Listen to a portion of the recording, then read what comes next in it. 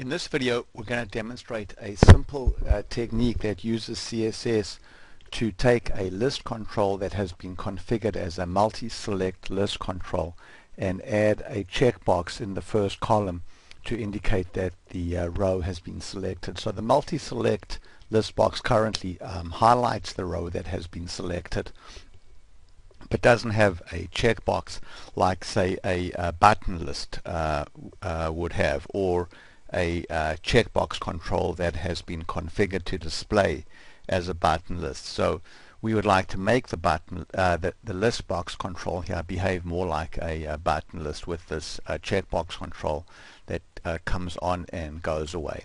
So currently we're using uh, a built-in check uh, check mark uh, image but you can use any image that you want. So first of all to find the name of the built-in um, checkmark image, I'm going to just go to uh, add a new control here, set the type to image only, go over to image name, go to built-in images.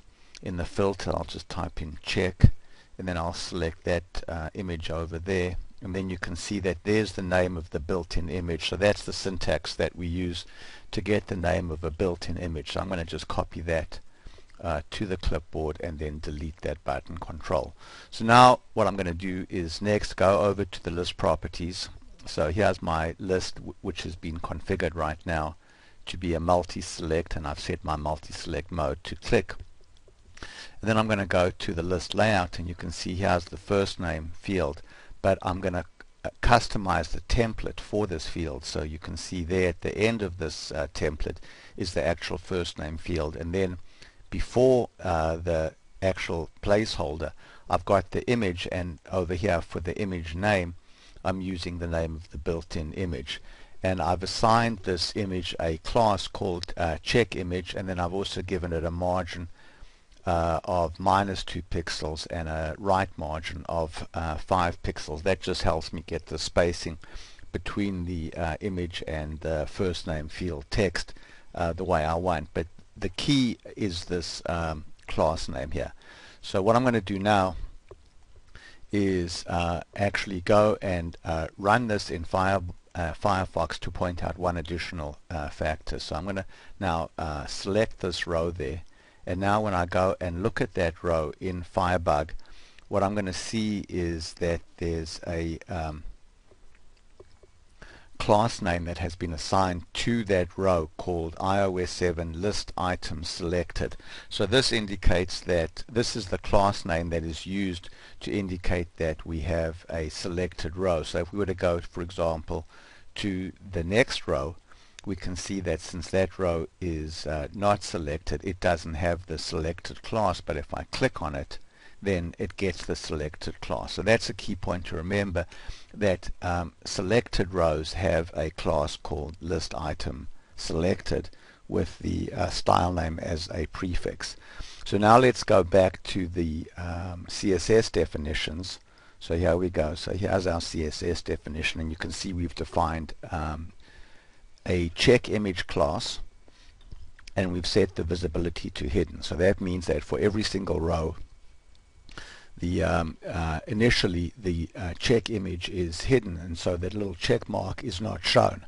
However, we've also defined a second um, uh, set of selectors here.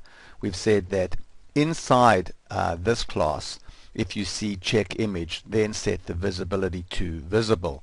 So that means on any row uh, that is inside a element that has the uh, iOS list item selected um, uh, class name, if you see a check image um, uh, rule, then set the visibility to visible. So that's basically how we cause the row to become visible, uh, the check mark to become visible on rows that have the uh, selected class name applied to them. Thanks very much for watching. This is an addendum to the previous video where we showed how you can define the CSS classes to show a uh, check mark on a row that was selected in a multi-select uh, list control.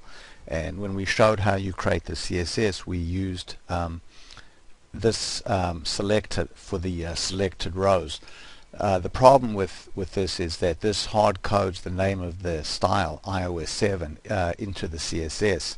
So if I now go and change my style from iOS 7 for example to say Android Dark and I go here and I click on the row I'm not seeing my check mark. So let's go back now to the local CSS and instead of using a hard-coded style name there let's use a placeholder so dialog.style and now when we uh, run this we can see that we're getting the check mark. So now uh, when we change our style we don't have to go and change the CSS. So let's go now and go back to say Android Light now and go over to working preview and you can see that that's working correctly. And when we go back to iOS 7 and then go over to working preview again. It's working correctly. So by using a placeholder in the uh, CSS that we write uh, and using dialog.style placeholder instead of the hard-coded style name we've made our component more portable. Thanks again